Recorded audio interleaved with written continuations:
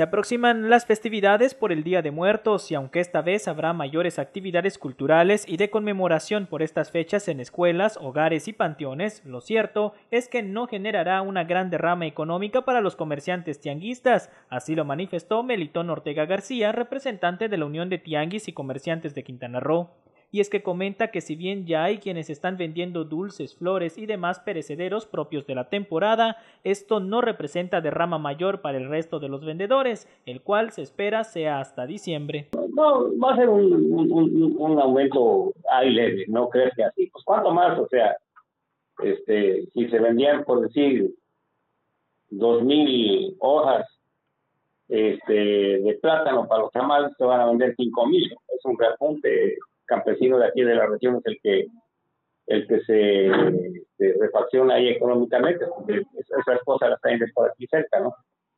Y, pero así otro otro asunto, no, no, no, es las ventas buenas de zapatos, ropa, todo eso, es en, es en diciembre, es en diciembre, pero ahorita, ahorita no, este, te digo solamente el perecedero sobre el que estoy hablando.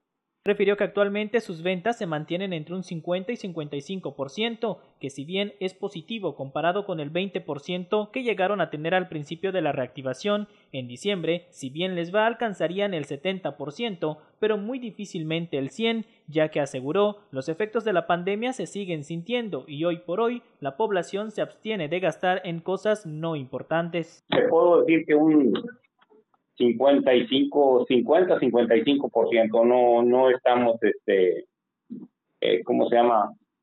Pues así hemos estado ahorita con la reactivación económica, empezamos con un 20, un 30 y ahí vamos ahorita al 50.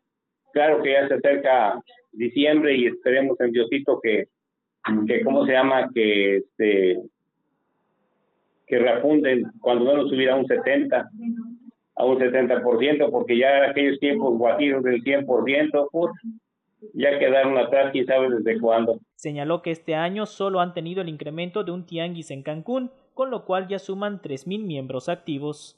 Con imágenes de Erika Pérez, Luis Más, Notivisión.